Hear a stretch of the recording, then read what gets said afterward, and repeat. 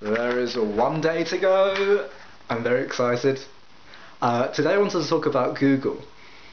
Um, but before I get into that, you might be thinking that this is going to be a rant about um, how like technology is evil and we should all go back and live in our caves and stuff. But no, I'm not a hippie like that. um, I actually really like technology. Um, I love like how all the latest developments. I, I like following all the latest developments and just how like unpredictable they are. How like no one would have predicted drones or virtual reality or um, all this crazy stuff that's coming out, 3D printing, um, and it's all this stuff is just around the corner. Like you don't know what's coming next, and it's uh, it really excites me. Um, so yeah, I love technology. Um, and this isn't a rant about Google. Google's actually one of my favorite companies, and I'd like to tell you why. Um, it's partly because like just the numbers, just the statistics are quite staggering. Uh, like every minute of every day, I believe the number is 48 hours worth of videos uploaded to YouTube. Hundreds of websites are being created.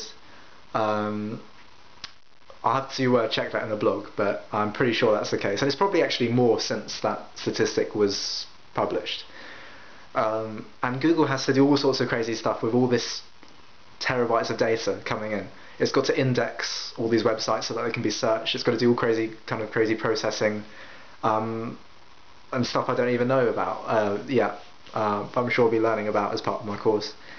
But um, because of that, Google is one of the biggest users, easily one of the biggest users of, of um, energy in the world today.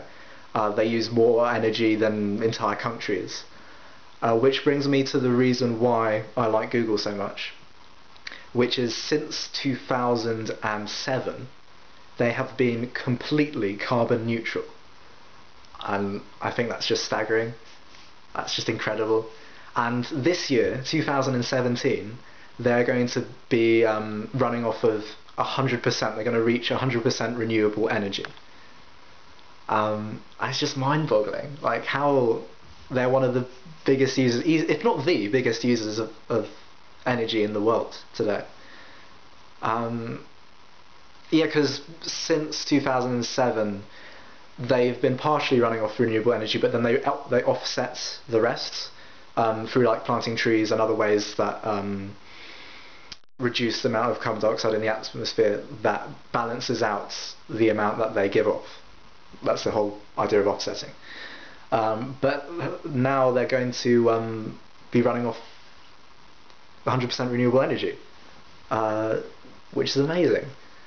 Um, and one day I'd like to do the same. One day I want to be complete, completely carbon neutral. And this challenge has made me realise there's a lot of work to do. Uh, I need to um, sort out the bike and um, maybe move to a hotter country so I can actually use a solar panel properly. Because um, on good days I can get like a quarter to a third of my phone charged, but um, most days it's not not a lot, maybe a few percent.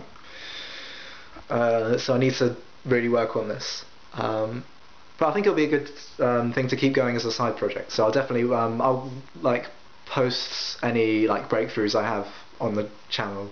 I'll keep the blog updated with any like regular stuff that I'm doing on it. But yeah, Google gives me hope for the future. If Google can do it right, then I think anybody can. Um, so yeah, that's everything for today.